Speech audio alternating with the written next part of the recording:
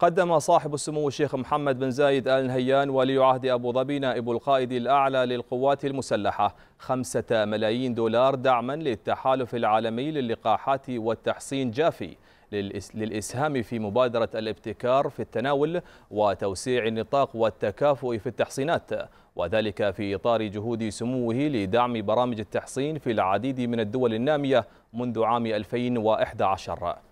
وكان صاحب السمو الشيخ محمد بن زايد آل نهيان قدم 33 مليون دولار لأعمال التحالف العالمي للقاحات والتحصين خلال الفترة من عام 2011 إلى 2015 وبفضل الدعم المقدم سيتمكن تحالف اللقاحات من الوصول إلى 300 مليون طفل إضافيين وتزويدهم باللقاحات اللازمة لإنقاذ أرواحهم بحلول عام 2020